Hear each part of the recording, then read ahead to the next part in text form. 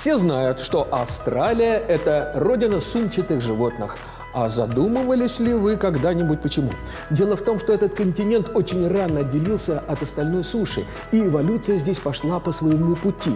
Плацентарные звери не появились. Но сумчатые есть не только в Австралии. И в Южной, и в Северной Америке живут опоссумы, которые тоже вынашивают своих детенышей в сумках. Было в Европе одно замечательное животное, которое, к сожалению, исчезло, как и многие другие. Это лев.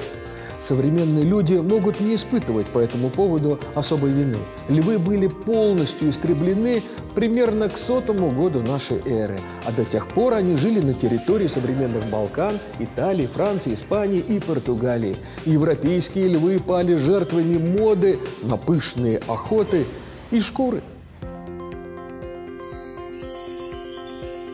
Вы когда-нибудь задумывались, как белка разгрызает орех? Ведь она не сдавливает его зубами, не щелкает челюстями. Зверек вонзает оба нижних резца в орешек, а нижняя челюсть у белки состоит из двух половинок, соединенных мышцей. Когда белка слегка стягивает их вместе, резцы расходятся в стороны и, подобно клину, вбитому в отверстие, раскалывает орех пополам. Вот такой удивительный механизм изобрела природа. Все знают, что моллюски, у которых есть раковины, находятся на дне. А знаете вы кого-нибудь из моллюсков, кто плавает с раковиной?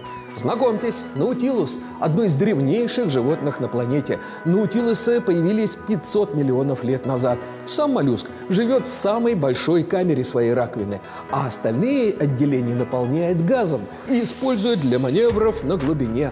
При этом перемещается он с помощью реактивного двигателя –